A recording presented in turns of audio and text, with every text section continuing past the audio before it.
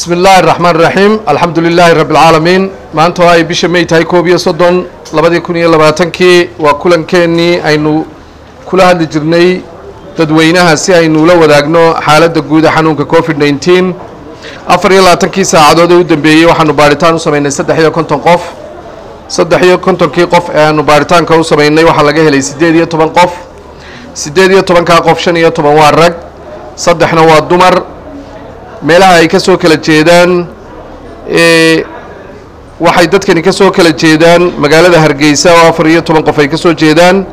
magaalada berberena waxaa ka soo jeeda saddex qof halka hal qofna uu ka soo jeedo magaalada burco. Dadkan da-doodu waxay u dhaxaysaa da-da labaatan ilaa sagaal iyo labaatan jir waa siddeed qof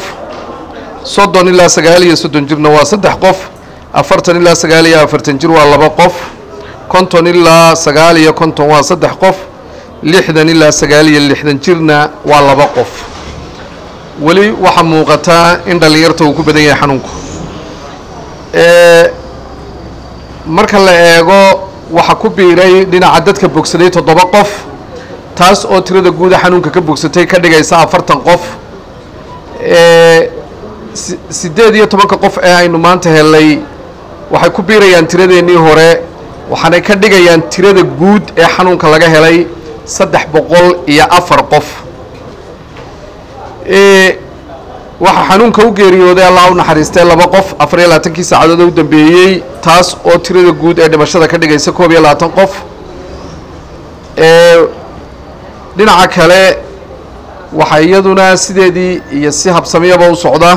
howlihii ay wasaaraddu waday tirada guud ee dhinaca interbointyada amba meelaha xuduudaha ee laga soo galo looga sameeyey screeningka ama in laga eega xumadda iyo calaamadaha xanuunkan. Afar iyo labaatankii saacadood ee u dambeeyey waxa weeye kun iyo toddoba boqol iyo lix iyo konton qof ee halka dadka call centerka la soo hadlay. Afar iyo labaatankii saacadood u dambeeyey ay yihiin siddeed kun shan boqol iyo saddex iyo siddeetan. Dadka inoogu jira karantiinku waa siddeetan qof halka xirfadlayaasha caafimaad ee isdiiwaangeliyeyna ay siddeed boqol marayaan tirada guud ee aynu ka baadhnay xanuunka ama shaybaadh loo sameeyey waxay maraysaa kun iyo laba boqol iyo lix iyo afartan qof ilaa iminka oo iskugu jira dad kala duwan oo gobollada oo dhanna iskugu jira. Waxaa iyaduna muhiim ah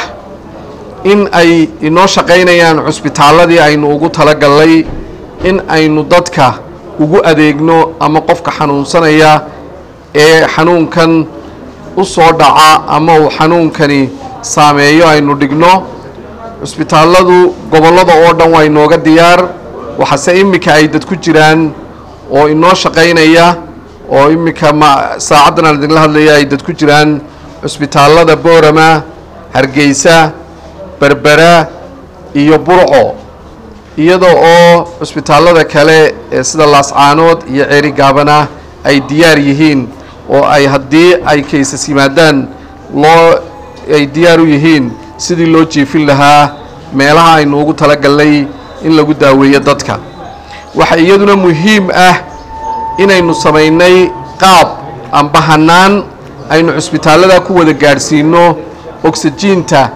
ay dadka qaarkii u baahdaan iyada oo maanta cusbitaallada aan sheegay ee dadku ay ku jiraan dhammaantood ay haystaan ogsajiintii ay u baahnaayeen. Hadday tahay dhinaca mashiinada ogsajiinta iyo hadday tahay dhinaca haamaha ogsajiinta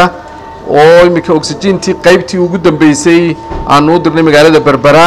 xalay sida magaalooyinka boorama hargeysa berbere iyo burco waxa ku diyaara oo hanaan dhammaystiran ugu diyaarsan wixii ay ogsajiin u baahnaayeen ama ay u baahan lahaayeen dadkaasi iyada oo marka loo baahdo ogsajiintaasi ama marka ay haamahaas qaar faaruqaanba la soo dirayo oo la buuxinayo waxaa kaloon maanta idiin sheegayaa oo iyaduna farxad ah in mashiinkii ogsajiinta dhalinayey ee cusbitaalka hargeysa uu dib u kacay oo la geliyey wixii ka dhinnaa isaguna uu diyaar u yahay oo shaqaynayo oo haamaha ugu dambeeyey xalay waxaa buuxiyey mashiinkii yaallay cusbitaalka guud ee magaalada hargeysa kaasoo isagana markii sbeer baarkii iyo qalabkii ka dhinnaa la geliyey si habsameeya xalay shaqadiisii u bilaabay oo haamaha buuxinaya cusbitaalkana markaa ku filan cusbitaallada kalena u adeegi doono oo buuxin doono wixii haama loo baahdo. Waxaa iyaduna muhiim ah inay socoto hawshii contact tracingka ama dadka xanuunkan laga helaa dadkii ay la kulmeen sidii looga daba tegi lahaa iyada oo ay noo diyaarsan tahay in la kordhiyo shaybaadhka oo nambarka shaybaadhka la kordhiyo haddii aan la yidhaahdo hadday tahay dhinaca b c r-ka iyo hadday tahay dhinaca rabid taskaba iyada oo aan bilaabi doonno kaambeyno dadka gobollada oo dhana oo kor loogu qaadayo dhinaca shaybaadhka ama dhinaca taska waxaan jecelahay inaan maanta laba kelmadood aan idhaahdo dhinaca wacyigelinta oo aan la wadaago bulshada maalin walba kelmadaha la wadaagno iyada oo aan maanta aynu xoogga saarayno dadka leenahay aaladda qura xanuunka lagaga hortegi karaa waa ka hortag. Aaladda qura xanuunka laga hortegi karaa waa dadka oo jooga guryahooga. Aaladda qura xanuunka laga hortegi karaa waa dadka oo kala durka oo kala fogaada.